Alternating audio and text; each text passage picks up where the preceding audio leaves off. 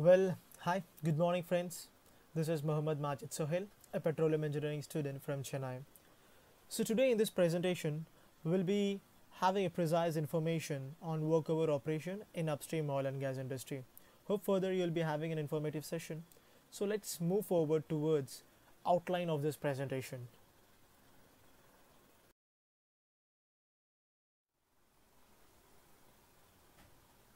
So as you could see from this slide, the overall outline of this presentation will involve what is workover, why it is needed, and how it is done, and what are the units involved in it. At last, as we all know, everything has an endpoint. So conclusion, let's move forward. Before getting into what is workover, I would like to explain you corkscrew effect so I think I have told this to my school, I mean my college mates and my colleagues, whomever from petroleum engineering. So corkscrew effect. So this is something those who haven't come across this terminology. So it is something really important. I thought to have a clear diagram, but I couldn't. So whenever we are drilling an oil and gas well, it is something about 8,000 feet to 15,000 feet. So when we are supposed to drill from normal subsurface, from surface to subsurface, it is something a huge one. So the wells are not going to be a normal like a straight line what we used to see in this picture. From the right hand side it is not as same as what you are looking at that. So from this left towards i have drawn some scribble right? So from it's like just goes on like a normal snake. So that is how a hole used to be when it is drilled to when it is normally drilled in huge depth. So this makes this is also one of the factor which makes the whole process quite tedious. So we have to make sure that casing have been centralized and cementing have been joined as much as effectively and the pay zones have been should be perforated accuracy. So these are all the parameters which makes the whole process quite tedious. So i hope you could just determine how much complex it is to complete a well and to produce it without any operations without any problems so that is why uh, upstream oil and gas industry has lots of technology advancement. Even day by day we could see some new findings and new methodologies to approach that problem.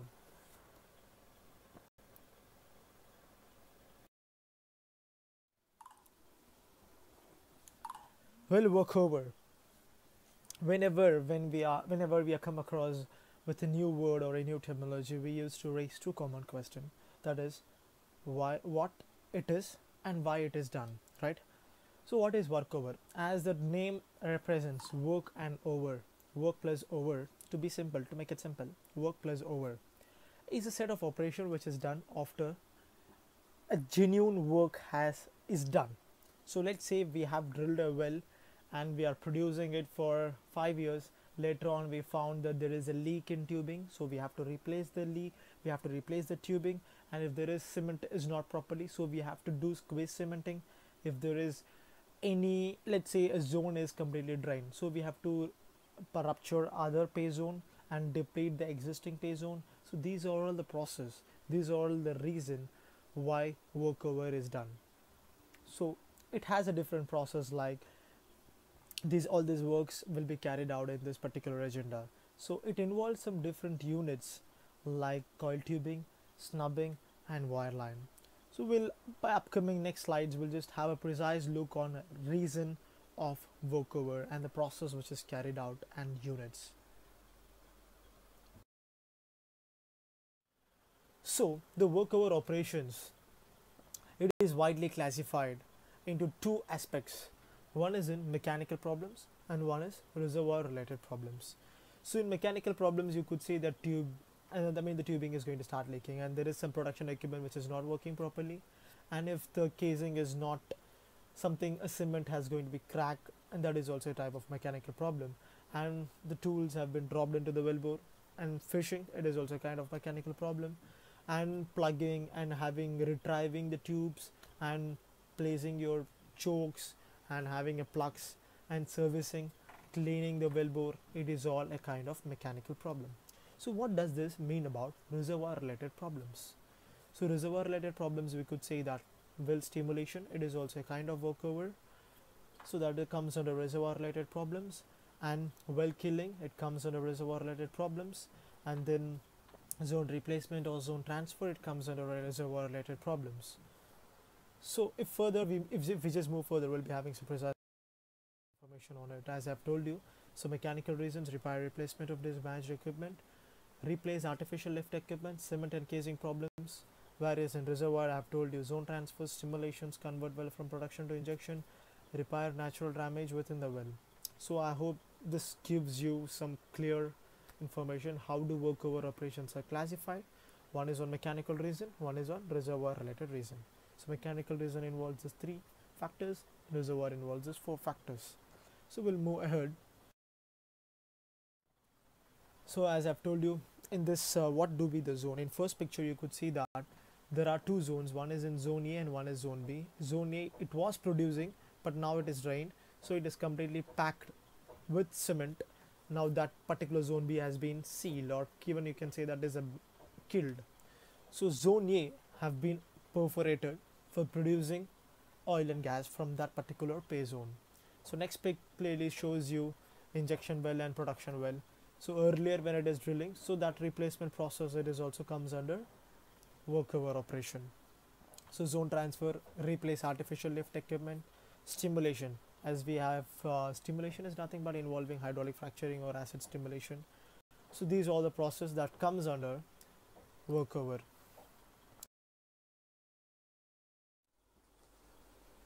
So workover operations can be done with the use of conventional rigs or it is called as non-conventional system. It is nothing but small rigs which can perform all those drilling even K tubing and casing operations but at specific scale. It can perform with only with this temperature. Maybe let's say formation pressure is 5000 psi make we can make use of this system. So this is what a conventional rig is. But moreover we make use of different units which come into these non-conventional systems so non-conventional systems involves coil tubing unit snubbing unit and wireline unit for performing the all those workover operations so I have been uh, supposed to explain you what is the difference between workover and well intervention. Workover is done when the well is completely stopped from its production. Well intervention is done when the well is producing. So I hope you could understand the difference. During workover operation, the production of the well will be stopped and the operation will be done later on the well will start will allow the well to produce. Whereas in case of well intervention, the well will be producing and the work will be done. To be simple, if you go on Google it, you could find the workover in one tab and well intervention in one tab. You'll be having you'll be finding two different pics. In well intervention, you'll be having Christmas tree, whereas in workover you'll be having blowout preventer. So this is what the basic a fundamental difference between workover and well intervention. So in workover, we'll be replacing, we'll be removing Christmas tree and we'll installing this blowout preventer for carrying out the operation. Whereas in well intervention, we'll be having the Christmas tree to its same place and perform all other operations what we need. This is two major difference between workover and well intervention. Whereas in this presentation, we'll be describing, we'll be discussing more precise about workover and its units I mean it's non-conventional system and co- or conventional rigs. So let's move forward. So non-conventional systems are widely classified into three. One is wireline units, one is coil tubing units, one is snubbing units. So we'll be having some precise information about all this all this unit. So let's move ahead and I'll just describe you each and everything.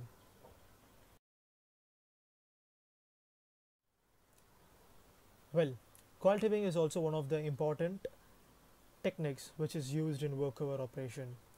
So in this slide you could see there are two pictures. One is from Schlumberger oil field and one picture is from Furor Energy Services.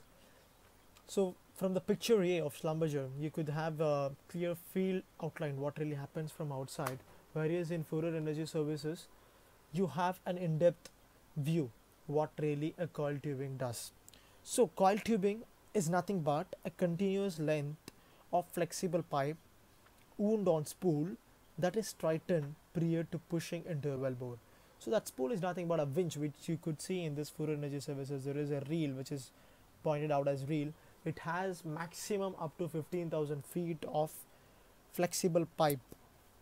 This coil tubing it is really helpful to perform lots of well intervention operations like squeeze cementing or recording some data or maybe in some cases it is used as tubing in depleted gas wells. This has happened and some data have been there in oil field history. It has been done by using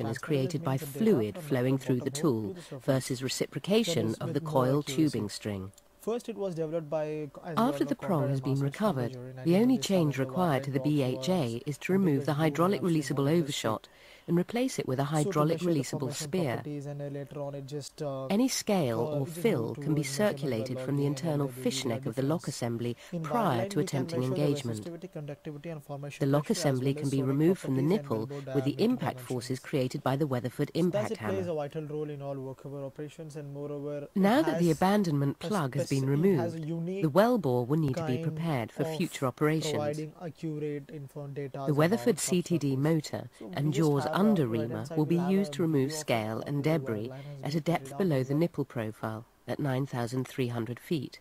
The tubing will be under reamed to a depth of 9,900 feet.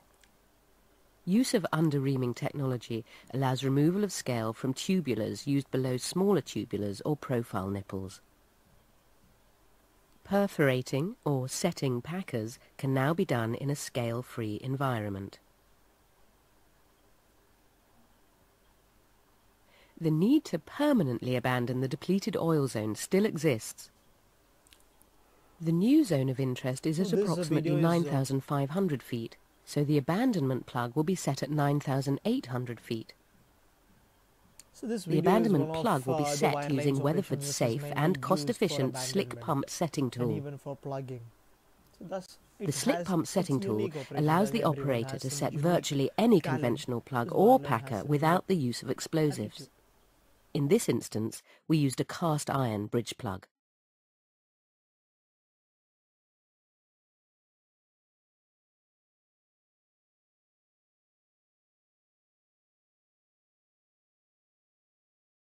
The use of electric line and Weatherford's selective perforating system will allow the operator to make multiple perforations in a single wireline trip. The perforating assembly is logged onto depth and perforations are made at 9,450 feet and 9,400 feet.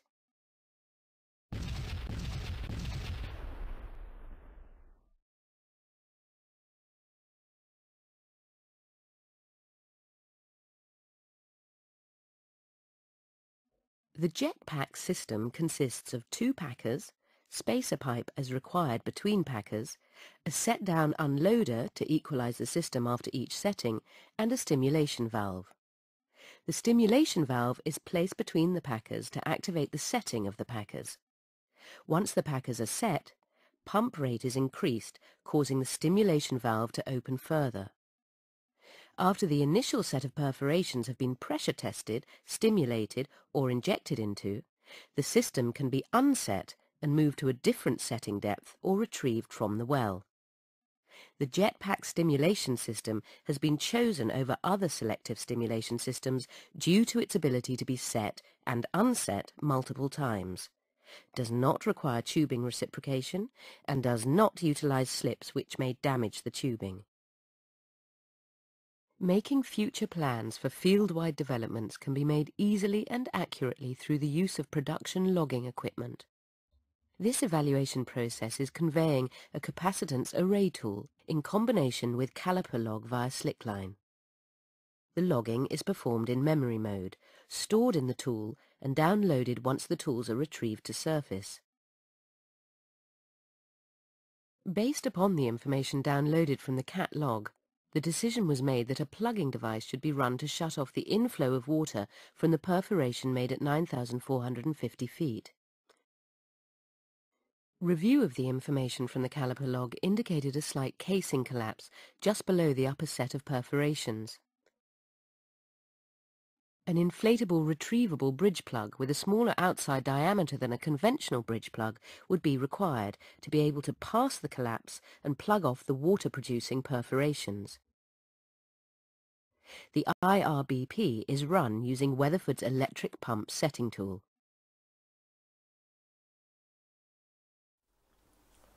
So hope you would have seen some basic information about what workover and its different conventional rigs and its units. So this is how workover plays a vital role in a lifetime of a well. It is it is mandatory and it is hap- it is done several times in a producing well or the lifetime of well will involve more than 10 to 15 times of workover operations so it, it involves a very major role and we all as budding engineers we should concentrate in this particular unit so that we could have more knowledge about it could fetch you good opportunities. So if there is any further more questions on this particular topic you can request us or you can comment us in comment box or if there is any errors and please do comment us in error box. We are ready to correct us and even we are ready to clarify your doubts. Thank you for your patience. Bye bye